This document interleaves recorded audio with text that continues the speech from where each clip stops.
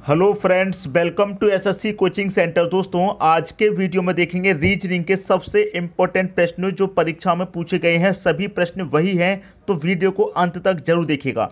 चलिए स्टार्ट करते हैं दोस्तों। पहला प्रश्न है, यदि किसी कूट में ए बी सी को बी डी एफ़ लिखा जाता है तो डी ई एफ़ को कैसे लिखा जाएगा? देखिए, यहाँ पर कह रहा है ए बी और सी को क्या लिखा गया? बी डी एफ़ मतलब ए को लिखा गया है बी ए को क्या लिखा गया दोस्तों? बी और बी को क्या लिखा गया? डी बी को लिखा गया है डी और सी को यहाँ क्या लिखा गया? सी को लिखा गया है एफ़ तो इसमें जो रिलेशन बनेगा, उसी रिलेशन से आप डी ई एफ़ को कैसे लिखा जाएगा? आप पता कर लेंगे। देखिए ए का रिलेशन बी से है तो ए का जस्ट अगला वाला अल्फ़ाबेट बी होता है। अब बी के बाद में डी दिया गया है बी का बी का रिलेशन डी से। तो बी के बाद में सी आता है बी के बाद में सी आता है, सी के बाद डी।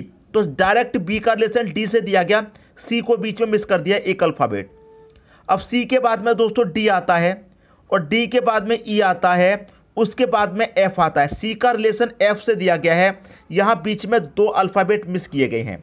यहाँ पर कोई भी अल्फ़ाबेट मिस नहीं किया, यहाँ एक मिस किया गया, यहाँ पर दो।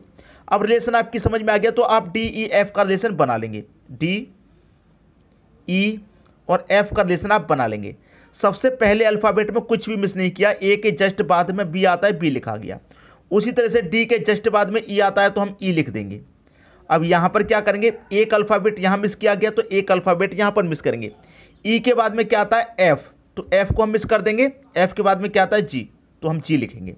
यहाँ पर क्या किया है? लास्ट वाले में दो मिस किए गए हैं तो यहाँ भी दो मिस करेंगे। एफ़ के बाद में दोस्तों क्या आता है? जी आता है। और जी के बाद में एच आता है तो दो मिस कर दिए। एच के बाद में क्या आता? है आई तो हमने यहाँ पर रिलेशन बना लिया है ई जी आई ये आपके प्रश्न का आंसर होना चाहिए। ई जी आई बी ऑप्शन में दे रखा है, ये आपके प्रश्न का बिल्कुल सही आंसर हो जाएगा।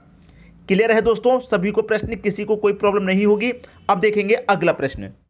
अगला प्रश्न है, एक विशिष्ट कूट भाषा में टेंपल को इससे कोडित किया गया है तो एस एन जी को क्या कोड किया जाएगा? देखिए, इसको इस नंबर से कोड किया गया तो इसको किस से कोड किया जाएगा? देखिए, यहाँ पर लिखते हैं T E M P L E यही तो दिया गया हमारे पास टेंपल, ये हमने लिख लिया। इसका कोड क्या है? इतना है। तो इसको देखिए टी का कोड दोस्तों, देखिए, पहले अक्षर का कोड पहले वाला होगा। तो देखिए यू और फिर एफ़ है, फिर आपका एन है क्यू है एम है और एफ़ है, यही तो कोड है, हमने ये कोड लिख लिया। अब आपको पता करना है इसका code S I N G का कोड पता करना। है देखिए, यहाँ रिलेशन आपने बना लिया तो इसको बनाना मुश्किल फिर बिल्कुल भी नहीं है। देखिए, आप जब ध्यान से देखेंगे तो आपको क्या पता चलेगा कि टी के बाद में जो अल्फ़ाबेट आता है वो कौन सा होता है? यू तो जस्ट अगला वाला लिखा गया। ई e के बाद में एफ़ आता है जस्ट अगला वाला लिखा गया। एम के बाद में एन आता है जस्ट अगला वाला लिखा गया। पी के बाद में क्यू आता है जस्ट अगला वाला लिखा गया। एल के बाद में एम आता है और ई e के बाद में एफ़ आता है। तो जो भी ये संख्या है, उनसे जस्ट अगला वाला नंबर दिया गया है। तो उसी तरीके से जो भी ये संख्या है जस्ट उनके अगला वाला नंबर ले लेंगे। तो एस के बाद में क्या आता है, आप जानते हैं टी आई के जस्ट आगे क्या आता है जे एन के जस्ट अगला वाला ओ आता है और जी के जस्ट अगला वाला एच आता है। ये आपके प्रश्न का आंसर होगा। T J O H T J O H T J O H C option आपके प्रश्न का बिल्कुल सही आंसर हो जाएगा। क्लियर है? उम्मीद करूँगा किसी को भी प्रश्न में कोई समस्या नहीं होगी।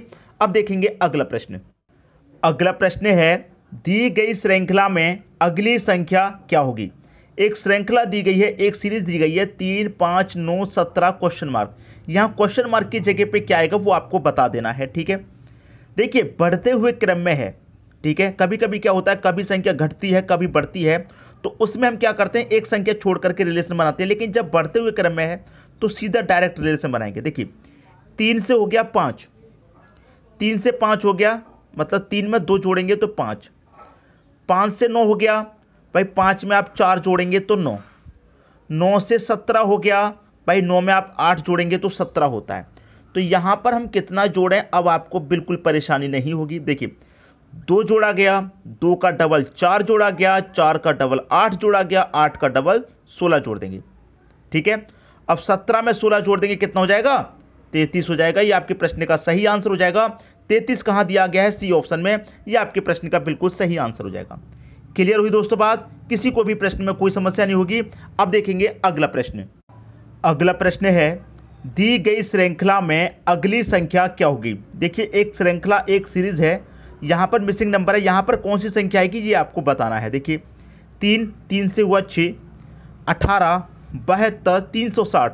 संख्या दोस्तों बढ़ रही हैं। ये बात आप जानते हैं, संख्या बढ़ रही है और बढ़ कुछ ज़्यादा ही रही है, जैसे कि तीन से हो गया छः। भाई, तीन से हो गया छः, अगर मैं तीन का मल्टीप्लाई दो से करूँ तो छः होता है, ठीक है? छः से हो रहा है अठारह। छः का मल्टीप्लाई अगर आप तीन से करेंगे तो अठारह होता है, ठीक है? अठारह से हो रहा है बहत्तर। अगर आप अठारह का मल्टीप्लाई चार से करेंगे तो अठारह चौके बहत्तर होता है। अब यहाँ पर देखिए क्या हो रहा है, समझिए प्रश्न को। दो से मल्टीप्लाई किया, फिर तीन से किया, फिर चार से किया, अब कितने से होगा भाई? पाँच से होगा। तो बहत्तर का मल्टीप्लाई पाँच से करेंगे, कितना? तीन सौ साठ होता है कि नहीं होता? आप कर लीजिए। पाँच दुने का दस का ज़ीरो कैरी का वन रहेगा। पाँच सत्ते पैंतीस और कैरी का वन कितना हो जाएगा? छत्तीस। तो तीन सौ साठ होता है, बहत्तर का मल्टी पाँच से करेंगे तीन सौ साठ। अब कितने से होगा दोस्तों? यहाँ दो से मल्टीप्लाई हुआ, यहाँ तीन से, यहाँ चार से, यहाँ पाँच से तो अब हो जाएगा सीधा सीधा छः से। कर दीजिए, छः कमल पे ज़ीरो में करेंगे तो ज़ीरो, छः कमल पे छः से करेंगे छत्तीस का छः कैरी का तीन रहेगा, छः त्रिक का अठारह कैरी का तीन, इक्कीस। तो इक्कीस सौ साठ आपके इस प्रश्न का क्या होगा? सही आंसर, और ये दे रखा है आपको पहले ही ऑप्शन में। तो उम्मीद करूँगा कि किसी को भी प्रश्न में यहाँ कोई भी समस्या नहीं होगी। प्रश्न थोड़ा अच्छा था, संख्या ज़्यादा बढ़ रही थी, लेकिन कोई बात नहीं, समझ में सभी को अच्छे से आ गया होगा। अब देखेंगे हम अगला प्रश्न। अगला प्रश्न है, दी गई श्रृंखला में अगली संख्या क्या होगी? बहुत ही बढ़िया प्रश्न है दोस्तों ये। इस प्रश्न के लिए आप वेरी वेरी इंपॉर्टेंट लगा लीजिए। मैं पहले ही कह रहा हूँ, बहुत बढ़िया प्रश्न। देखिए, यहाँ पर छः है, ग्यारह है सत्ताईस है, इक्यावन है। अब देखिए, यहाँ पर मैं प्रश्न को जब सॉल्व करूँगा तो पिछला क्वेश्चन था तो वो मल्टीप्लाई में चल रहा था, लेकिन ये मल्टीप्लाई में बिल्कुल भी नहीं है, ठीक है? अब ये छः को मैं क्या लिख सकता हूँ? दो का स्क्वायर प्लस दो लिख सकता हूँ। भाई, दो का स्क्वायर चार होता है, चार में दो जोड़ेंगे छः। ग्यारह को मैं क्या लिख सकता हूँ? तीन का स्क्वायर प्लस दो लिख सकता हूँ, ठीक है? सत्ताईस को मैं क्या लिख सकता हूँ? पाँच का स्क्वायर प्लस दो लिख सकता हूँ। इक्यावन को मैं क्या लिख सकता हूँ? सात का स्क्वायर प्लस दो, भाई सात का स्क्वायर उनचास होता है, प्लस दो कर देंगे इक्यावन। एक सौ तेईस को मैं क्या लिख सकता हूँ दोस्तों? एक सौ तेईस की मैं बात करूँ तो ग्यारह का स्क्वायर प्लस दो, ग्यारह का स्क्वायर एक सौ इक्कीस होता है, दो जोड़ देंगे एक सौ तेईस। एक सौ इकहत्तर को दोस्तों हम क्या लिख सकते हैं? देखिए, तेरह का स्क्वायर प्लस दो लिख सकते हैं, क्योंकि तेरह का स्क्वायर कितना होता है? One sixty nine. One sixty nine में टू जोड़ेंगे, एक सौ इकहत्तर हो जाएगा। अब यहाँ पर किस संख्या का स्क्वायर आएगा? ये बात है। यहाँ दो का आया, यहाँ तीन का, चार का नहीं आया, पाँच का आया सीधे। पाँच के बाद छः का नहीं आया, सात का आया। सात के बाद आठ, नौ, दस, ग्यारह का आया। तो संख्याओं को जब ध्यान से आप देखेंगे तो आपको क्या समझ में आया कि यहाँ पर जो विषम संख्या है, उनका चल रहा है। विषम नहीं दोस्तों, प्राइम नंबर। इसको कहते हैं हम प्राइम नंबर। ठीक है? जो स्क्वायर चल रहा है, वो चल रहा है स्क्वायर प्राइम नंबर का। प्राइम नंबर को हिंदी में कहते हैं अभाज्य संख्या। ठीक है, अभाज्य संख्या का स्क्वायर चल रहा है। सबसे पहली अभाज्य संख्या दो, फिर उसके बाद तीन आती है, तीन के बाद पाँच, फिर सात, ग्यारह, तेरह तेरह के बाद में अभाज्य संख्या दोस्तों कौन सी आती है? सत्रह। तो क्या करेंगे? सत्रह का स्क्वायर और सभी में दो प्लस किया गया है तो यहाँ भी प्लस दो करेंगे। तो सत्रह का स्क्वायर दोस्तों कितना होता है? टू एट्टी नाइन होता है। उसमें हम दो जोड़ देंगे तो कितना हो जाएगा? टू नाइन्टी वन हो जाएगा। तो यहाँ पर कौन सी संख्या आ जाएगी? Two ninety one. ये आपके प्रश्न का सही आंसर होगा और ये दे रखा है आपको डी ऑप्शन में। मैं उम्मीद करूँगा सभी को प्रश्न अच्छे से समझ में आ गया, किसी को भी कोई समस्या यहाँ पर नहीं होगी। अब देखेंगे अगला प्रश्न। अगला प्रश्न है, दी गई श्रृंखला में अगली संख्या क्या होगी? एक, चार, नौ, सोलह, पच्चीस यहाँ पर क्या आएगा? ठीक है? अब देखिए, यहाँ पर तो ये प्रश्न बिल्कुल भी कठिन नहीं कहूँगा मैं, बिल्कुल भी नहीं कहूँगा। जो बच्चे बिल्कुल भी तैयारी नहीं करते, उनके लिए कठिन होगा, लेकिन जो लोग तैयारी करते हैं, उनके लिए तो ये बिल्कुल भी कठिन नहीं है। देखिए कैसे, ये क्या है? आप सीधा सीधा कहेंगे, एक का स्क्वायर, ये है दो का स्क्वायर, ये है तीन का स्क्वायर, ये है चार का स्क्वायर, ये है पाँच का स्क्वायर। तो यहाँ पर सीधा सीधा आप छः का स्क्वायर कर दोगे कि नहीं कर दोगे? छः का स्क्वायर कितना? छत्तीस। आगे आपका आंसर जो कि बी ऑप्शन में है। मैंने पहले ही बोला था कि ये प्रश्न तो बिल्कुल भी कठिन नहीं है। जो बच्चे नए नए तैयारी करने से जुड़े हैं, जिन्होंने बिल्कुल पढ़ाई नहीं की, उनके लिए ये कठिन होगा और किसी के लिए ये प्रश्न आपका बिल्कुल भी कठिन नहीं है। ठीक है दोस्तों, अब देखते हैं अगला प्रश्न। अगला प्रश्न है, दी गई श्रृंखला में अगली संख्या ज्ञात करें। वेरी वेरी इंपॉर्टेंट इस प्रश्न को बना लीजिए। पहले ही कह रहा हूँ, बना लीजिए। जो बच्चे खुद से प्रश्न को करना चाह रहे हैं, कर लीजिए। जो बच्चे प्रश्न को खुद से करना चाह रहे हैं, वो बच्चे प्रश्न को खुद से कर लीजिए। क्या आंसर आएगा, मुझे बता दीजिए। हमें क्या करना है, इस प्रश्न में गलत संख्या बतानी है, कौन सी है? ये दोस्तों, यहाँ पर लिख रहा है अगली संख्या। अगली संख्या नहीं, इसमें हमको बतानी है गलत संख्या। लिखते टाइम यहाँ पर गलती से अगली संख्या लिख गया है, जबकि दी गई श्रृंखला में गलत संख्या हमको ज्ञात करनी है। इस सीरीज़ में क्या करना है? कौन सी संख्या गलत होगी वो हमें बताना है। अगली संख्या नहीं, लिखते समय गलती हो गई है, गलत संख्या लिखना था, अगली संख्या लिख गया। कोई बात नहीं, ठीक है? अब यहाँ पर 69 गलत है या 55 गलत है या फिर 26 13 5 कौन सी संख्या गलत है? देखिए दोस्तों, यहाँ पर मैं कहूँ आपसे कि यहाँ पर सिक्स और नाइन है। सिक्स और नाइन पहली संख्या। अगर आप इस सिक्स और नाइन को आपस में मल्टीप्लाई करते हैं छः गुने नौ, कितना होता है? छः निम चौवन होता है। और चौवन में अगर आप एक जोड़ दें अपनी तरफ़ से तो ये पचपन नहीं हो जाएगा। ठीक है? पचपन अगली संख्या आपको मिल गई। इन दोनों का मल्टीप्लाई किया, एक जोड़ा अगली संख्या मिल गई।